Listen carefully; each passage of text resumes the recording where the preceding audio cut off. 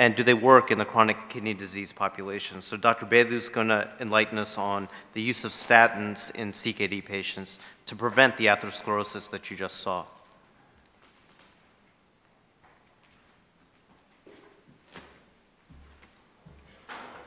Thank you. Uh, good morning again.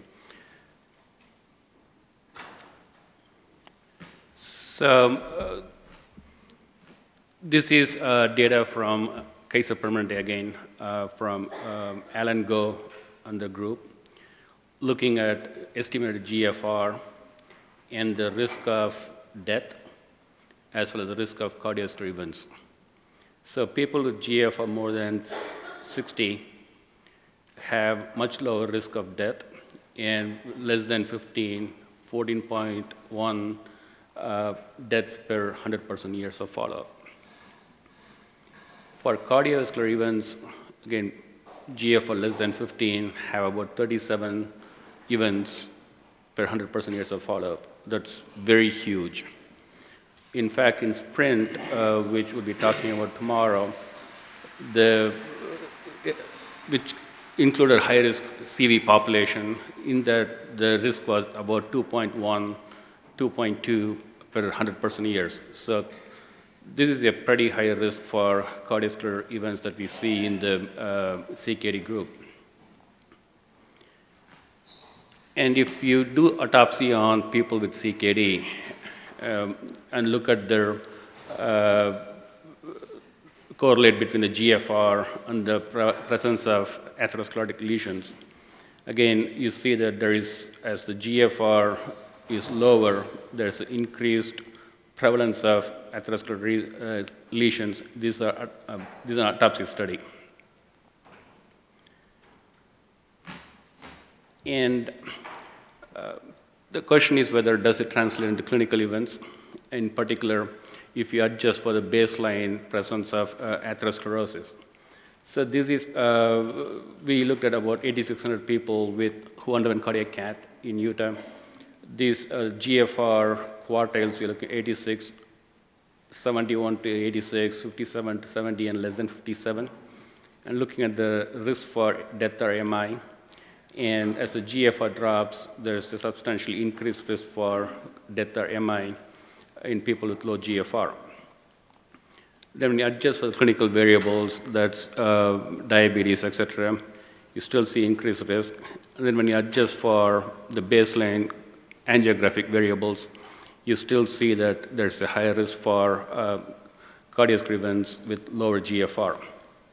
So all these things kind of mean that there is increased atherosclerosis in CKD. It's a pro-atherosclerotic state.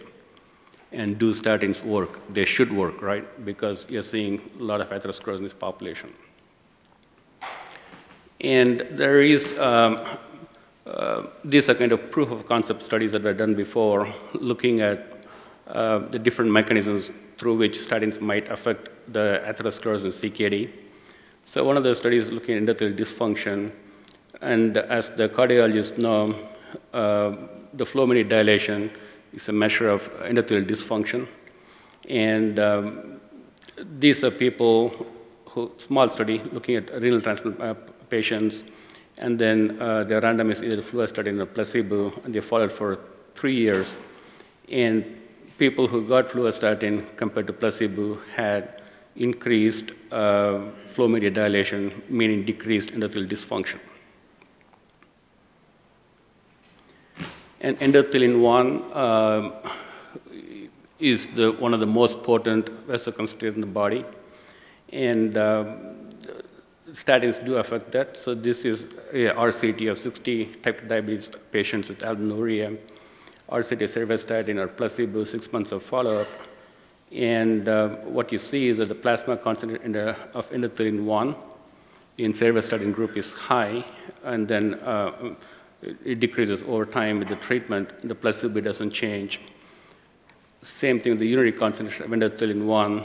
You see that uh, with cerivastatin, there's a decrease in the uh, endo urinary endothelin-1 excretion. This is looking at the arterial stiffness measured as pulse velocity in 20 hemodialysis patients who got fluvastatin, six months of follow-up, and you see that uh, people who got fluvastatin had uh, decrease in their uh, pulse velocity. Of note, in the hemodialysis patients, the mean here is about 1900 centimeters per second of, uh, for the pulse velocity. Normally it's around 800, 900. So this population is pretty high uh, uh, arterial stiffness. They have uh, significant arterial stiffness. And the statins also decrease inflammation. This is looking at uh, the simvastatin on IL-6 production, the peripheral monocytes. So uh, basically take the PBMC and then expose them to LPS, uh, that's a lipopolysaccharide, and look at the production of uh, IL-6. And when you add statins, it, they do decrease the production of um, uh, IL-6 in response to LPS in CKD. So with all this, you would expect that uh, one, with CKD, there's higher uh, preponderance for atherosclerosis. And two is that statins might have some uh, beneficial effects on the physiological mechanisms. And do they work? So this was a 4D trial uh, published in NEJM. It was the RCT of atorvastatin 20 milligram or placebo. They randomized about 400 uh, type, type 2 diabetes uh, patients with, uh, on hemodialysis. The primary endpoint was a uh, cardiovascular composite of uh, death from cardiac causes, non-fatal MI or stroke, and all-cause death was this key secondary endpoint. And as you would expect, when uh, with statin, uh, you do decrease the LDL significantly, and uh, so there's significant difference. Interestingly, the LDL declines in the placebo group too, down the road. That's a non-phenomenal dialysis patients where uh, it's a measure of nutrition. Uh, you do see that. The median follow-up was four years, and 37% reached the primary endpoint. So, and of 469 patients, that's about 226 assigned to atorvastatin and 243 to the placebo. And as you can see in the Kaplan-Meier plot, there's kind of a trend, but hazard ratio is 0.92, and confidence interval is 0.77 to 1.0 with a p of 0.37.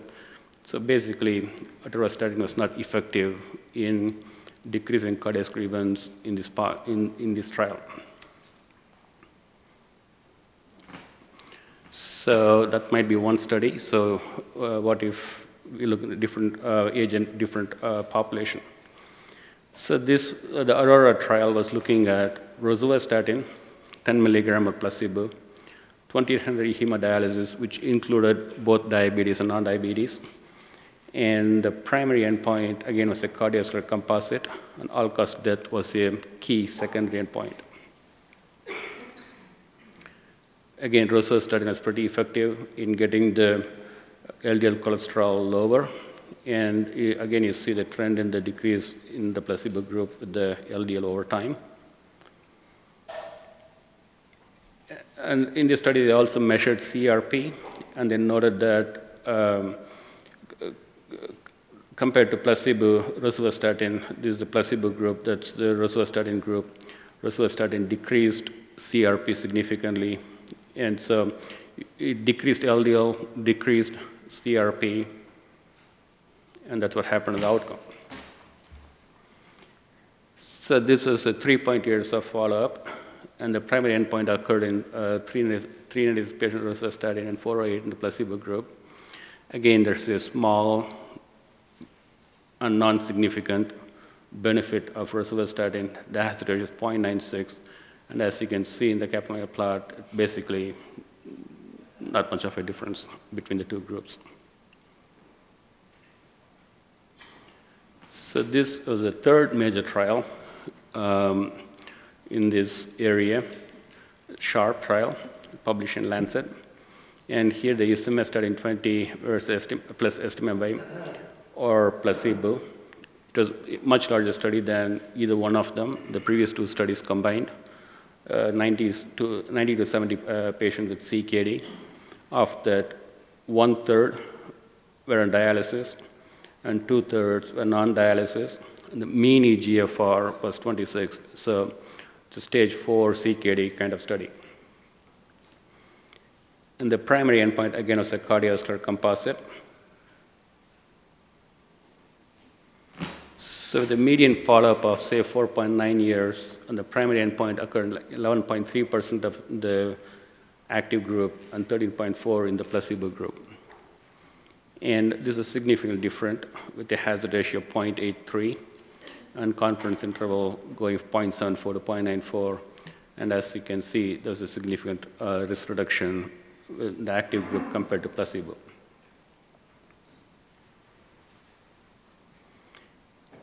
So as I said earlier, the, uh, the SHARP trial, you had people with uh, non-dialysis dependent CKD and, and also dialysis patients, so what happens in those subgroups? If you look at the, uh, this is the MDRD GFR groups, more than 60, 30 to 60, which is stage 3 CKD, 15 to 30, which is stage 4, less than 50 is stage 5, not on dialysis. And there are very few people in the more than 60 groups, so, and the confidence intervals are pretty wide, but the hazard ratio is uh, towards favoring the intervention. And this is the bulk of the study, uh, the participants in the 30 to 60 and 15 to 30.